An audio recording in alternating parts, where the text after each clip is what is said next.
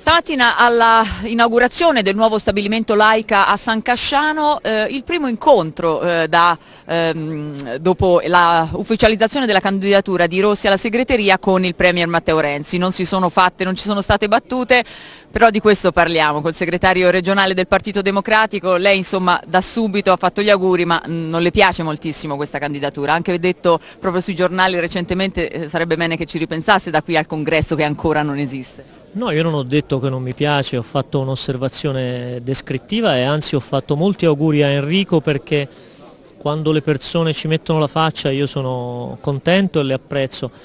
Ho detto che questa candidatura arriva in un'area del partito, quella della sinistra interna, della minoranza del PD che non vota Renzi, che è già molto affollata di candidati e che mi pare non abbia accolto bene l'ingresso in campo di Rossi.